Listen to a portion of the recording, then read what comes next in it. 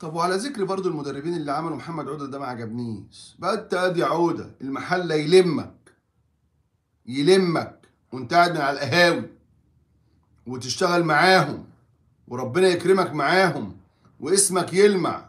ولما ربنا يديلك تفتري عليهم وتسيبهم عقدك بيديك الحق.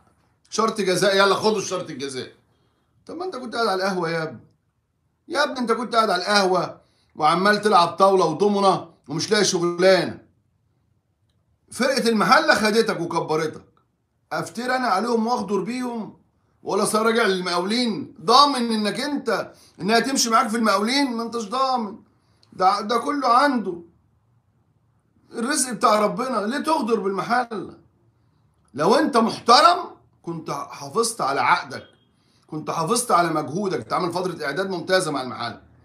لكن انت تقوم عامل كده؟ لا لا لا أنا زعلان منك. طول عمرك راجل اخلاق ومحترم. هتقول لي استخدمت عقدك. في فرق بين استخدام العقد وهو حق مشروع لك قانونا لكن في حق اهم من الحق القانوني وهو الحق الادبي والمعنوي. الناس بتاعه المحلة توسمت فيك انك مدرب كفء وفرت لك الامكانيات. عملت لك راتب اللي في طلائع الجيش ده بياخدوه في سبعة أشهر. 350 ألف جنيه ده كان راتب عبد الحميد بسيوني 40000 مثلا يعني فالناس قدرتك ماديا وقدرتك فنيا ومعاك فرقة كويسة وماشي كويس تغدر ليه؟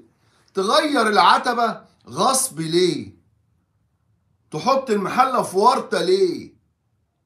أنا بكلمك بكل أمانة فاللي عمل محمد عوده غلط وإدارة نادي المقاولون العرب اللي كانت بتصرخ وبتلطم لما كان بتيجي عروض لعماد النحاس الموسم قبل الماضي عشان يمشوا في مقدمتها عرض النادي الأهلي.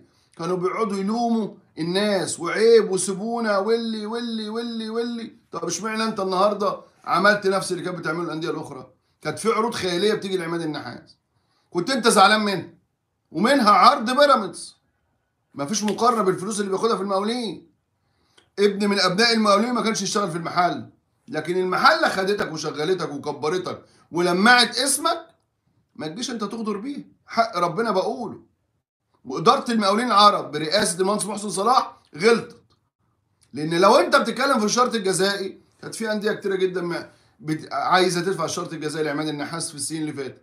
لكن كانت بتحترم رجل محترم والمهندس محمد عادل فتحي المشرف على كرة القدم اللي كان بيطلع بيقول عيب وسيبونا واستقرار النادي وكده.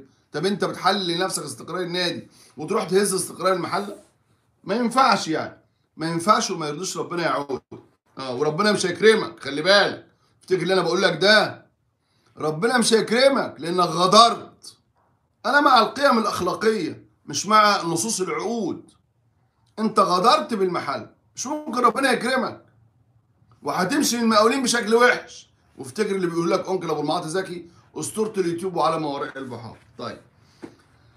like و share وصلي على الزين.